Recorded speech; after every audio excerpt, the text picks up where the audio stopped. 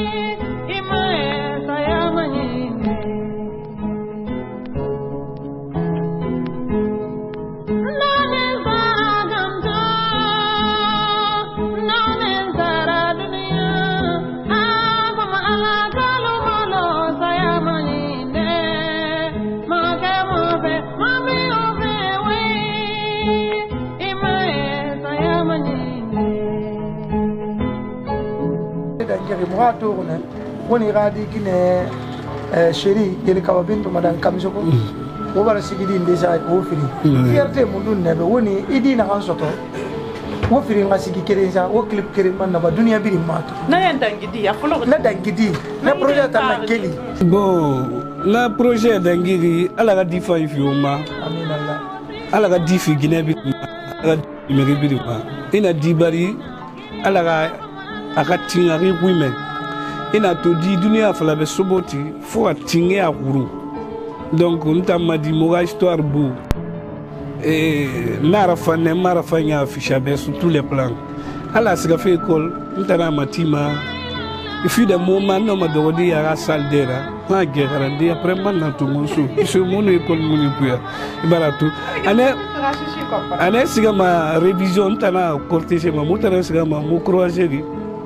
en ce moment eh, moto na mingi la bon ma na to n ta n baba nafa ne trop quoi a nafa ne yati yati yati donc pourquoi pas mo mati nafa mo para to ngeli kaba bintu nga fengene amu fata bandi yati ngende amuna be ana amour ntana ngira c'est pourquoi elle me dit papa Maratou. Ah, Anga. Voilà, en Barguinée.